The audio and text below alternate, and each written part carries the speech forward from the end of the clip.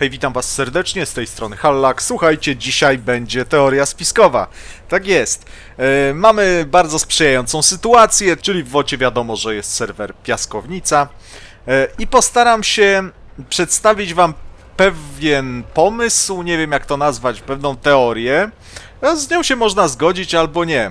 Tak jak każda teoria spiskowa, w niej jest tam jakiś, e, jakaś kropelka prawdy i troszeczkę, a raczej no nie troszeczkę, tylko bardzo dużo e, różnego rodzaju przewidywań, które nie do końca mogą okazać się prawdziwe, ale jednak ja czasami coś takiego mm, lubię sobie robić. Dawno tego nie było, a pisaliście, że chcielibyście, więc dzisiaj będzie teoria spiskowa odnośnie y, właściwie to nie tyle serwera, co zmian, jakie Wargaming y, chce wprowadzić i właściwie co te zmiany dają, no bo y, Wargamingu stanowisko jest jasne. Zmiany mają sprawić, aby grało się graczom lepiej. Natomiast, no, nie oszukujmy się. E, To nie tylko o to chodzi, chociaż może, dopuszczam to, że tylko może o to chodzić, ale e, rozpuśćmy troszeczkę wodze fantazji. E, Zdajmy sobie sprawę, że Wargaming również coś chce na tym zyskać, prawda? Oprócz tego, że nam ma się grać lepiej, to jeszcze coś oni z tego muszą mieć. E, No, ktoś z Was powie, no dobra, ale jak będzie się nam grało lepiej, to już wystarczająco dla nich jest, ponieważ będzie więcej graczy. E, Okej, ale podejdźmy, od tego, podejdźmy do tego z zupełnie innej strony. Jakie zmiany mniej więcej Wargaming wprowadzi, tego nie wiadomo. To, co jest na serwerze Piaskownica, to może będzie, może nie będzie, może w tej postaci, może w innej postaci. Nieważne.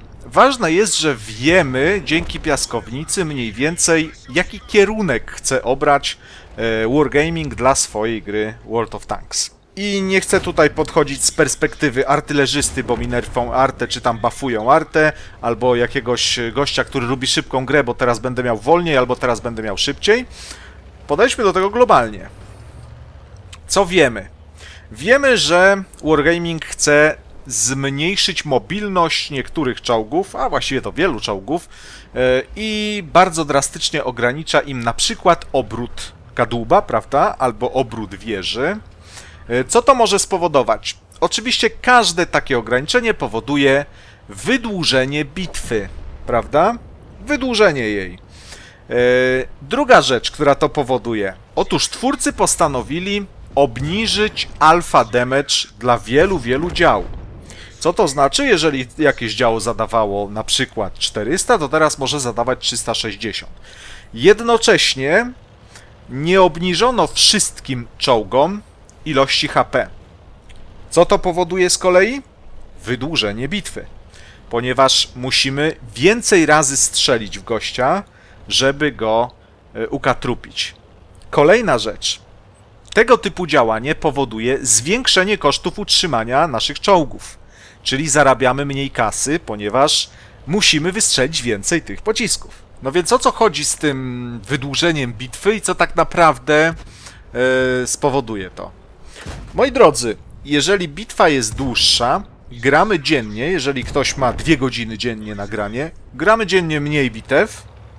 E, Jeżeli gramy mniej bitew, to zarabiamy mniej expa. No niestety, jeżeli gramy mniej bitew, zarabiamy mniej kasy. A konto premium leci i ono kosztuje tyle samo. Więc tutaj pierwsza teoria spiskowa jest taka, że Wargaming chce wydłużyć bitwy, aby grind, aby zarobki szły po prostu wolniej.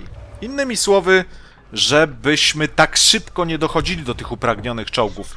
Czym dłużej gracz grinduje, tym większe ma ciśnienie na to, żeby kupić premium i żeby sobie w końcu ten upragniony czołg, który myśli, że jest tak fantastyczny, kupić. Ale posuńmy się jeszcze dalej w tych rozważaniach. Jak pewnie wiecie, drastycznie postanowiono, taki projekt jest, zmniejszyć obrażenia na duże odległości powodowane przez pociski APCR czyli podkalibrowe. I wszystko by było bardzo fajnie, gdyby w każdym czołgu pociski podkalibrowe były pociskami premium. To by było ok.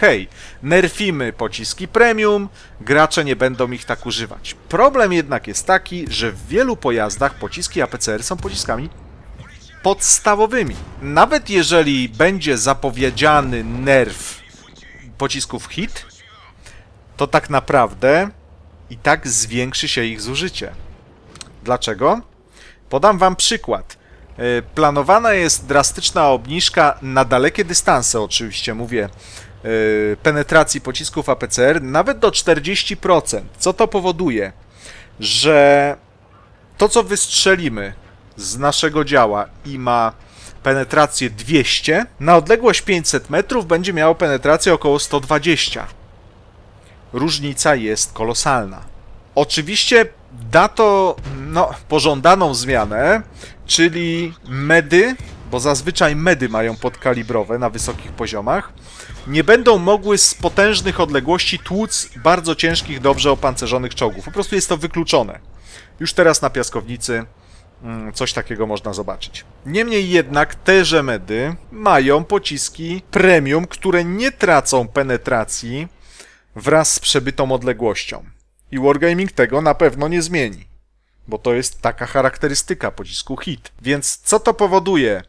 Jeżeli drastycznie obniżycie dla gościa, który lubi sobie z daleka postrzelać penetrację jego podstawowych pocisków, będzie grał premium. Innymi słowy, będzie musiał więcej srebra wydać, prawda? Jeżeli więcej srebra potrzebuje, to potrzebuje też konta premium.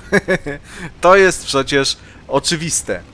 E, Czy te zmiany wejdą, czyli ten bardzo duży nerw e, penetracji pocisku wraz z przebytą odległością? Nie mam pojęcia.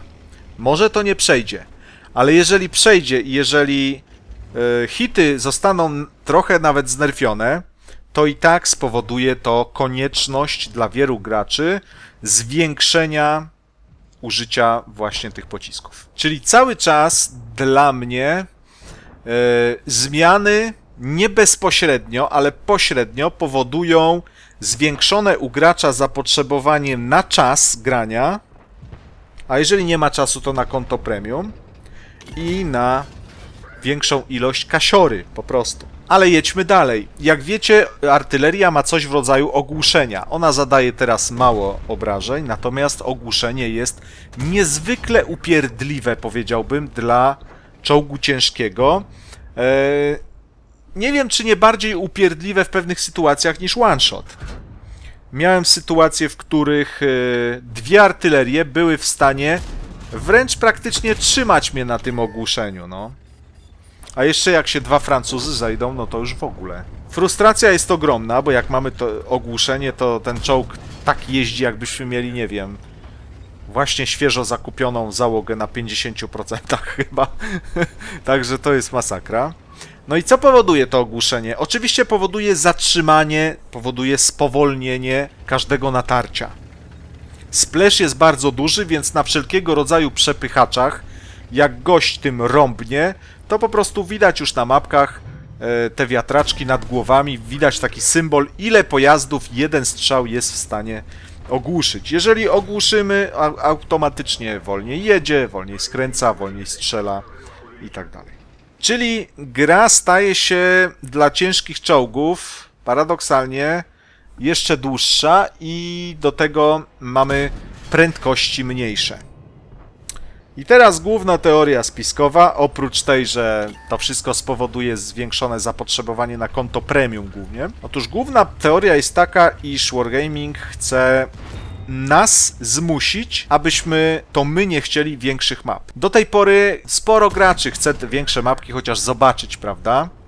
E, Wargaming zawsze coś tam wymyśla, że komputery za słabe, że coś tam, że coś tam. Natomiast tak sobie myślę, że jeżeli rozgrywka zostanie spowolniona, jeżeli wszystko to, co wolno jeździ, będzie jeszcze wolniej jeździło, to oczywiście bitwy się wydłużą, ale jeżeli wtedy, po wprowadzeniu tego, e, WG zapyta graczy, czy chcecie dużych mapek, to gracze powiedzą zgodnie nie.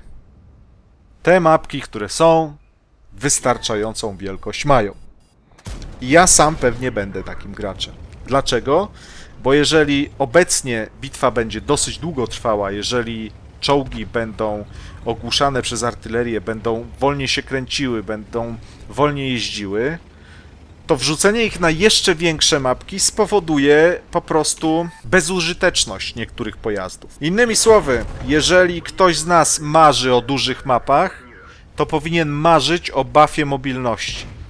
Jeżeli sytuacja jest odwrotna, że jest nerw dla mobilności i nieważne, że to nie jest zmniejszenie prędkości maksymalnej na przykład, bo zmniejszanie obrotów to również są nerfy dla mobilności. No i niestety, bardzo możliwe, że doczekam takiej sytuacji, kiedy na pytanie właśnie o Wargamingu odpowiemy zgodnie nie, dajcie nam nowe mapki, ale taka wielkość jest wystarczająca. Napiszcie, co o tym sądzicie. Oczywiście to takie tylko gadanie, gdybanie, nie poparte żadnym tam szpiegiem z krainy deszczowców, który przekazuje mi tajne informacje prosto z biura e, WG. takie moje po prostu przemyślenia. No, no ciekawe, czy to się sprawdzi, czy nie, no ale spowod... spowolnienie rozgrywki automatycznie wyklucza wprowadzenie dużych map, moim zdaniem, no. Chyba, że te mapki e, duże by były wprowadzone na tiery 11, 12, 13, bo według mojej teorii i tak w końcu nas czekają wyższe tiery w WOcie. Nie wiem, czy to będzie za rok, czy za 3 lata, ale w końcu wprowadzą. Zobaczycie. No i to tyle. Koniec teorii. Pora wracać do normalnego życia. Żegnam się z wami. Do usłyszenia.